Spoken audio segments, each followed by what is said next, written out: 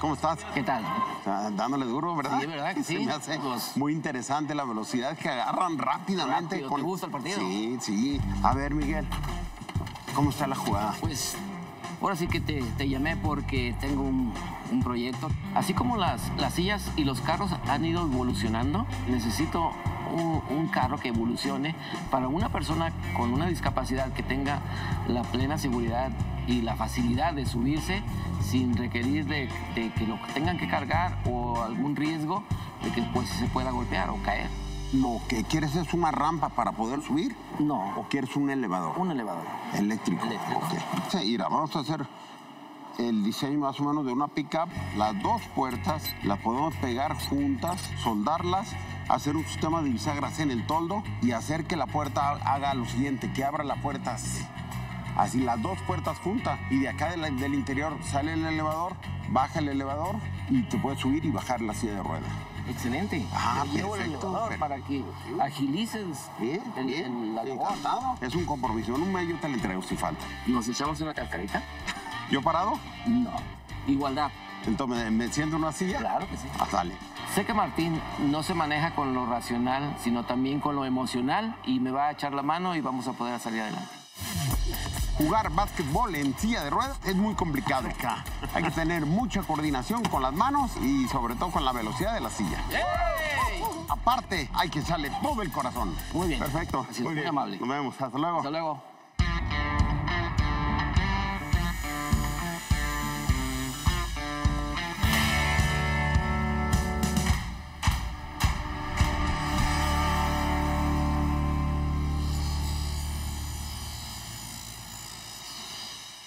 Pues Oscar, ¿Qué vamos a hacer, oiga?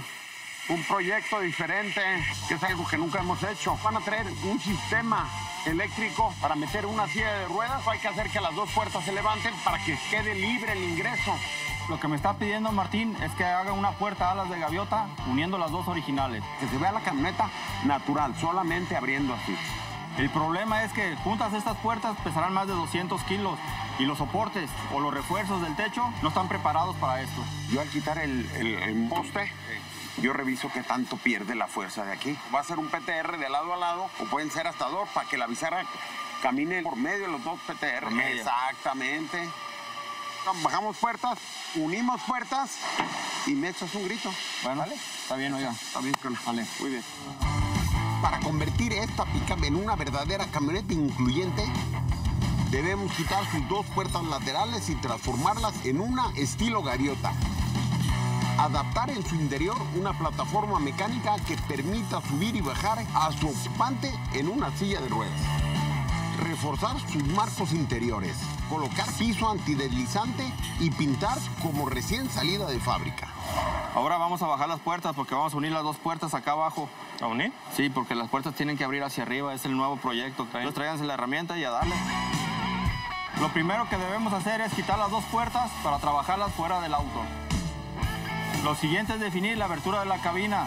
Medirá más de 2 metros por 1,40. Vamos a hacer el corte del poste, corte arriba, corte abajo.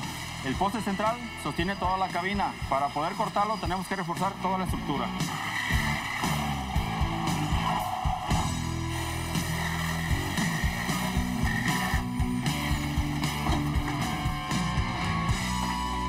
Parecer no se movió, ¿verdad?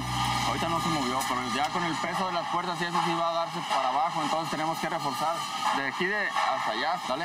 Vamos a soldar las puertas para checar que cuadren bien, ¿sale?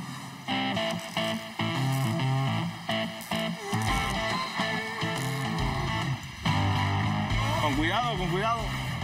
Dale. Ahí, vale. Usamos con un machucón, ¿eh? Ahí. Despacito, despacito, que siente ahí mismo la ceja. Ahí así es donde debe quedar. Vamos a cortar el pico este del poste y vamos a tratar de meter bisagras de, de solera de media pulgada. La bisagra va a hacer el giro Ey. y va a librar bien el empaque y todo, porque tenemos que ver también mucho lo que, que empaque bien, que no se meta el agua, es lo más no meta importante. Ya te cansaste esa agua y va para abajo. Vamos. Esa transformación es muy exigente porque la puerta debe abrir a su máxima altura para que así la persona con su silla de ruedas entre cómodamente.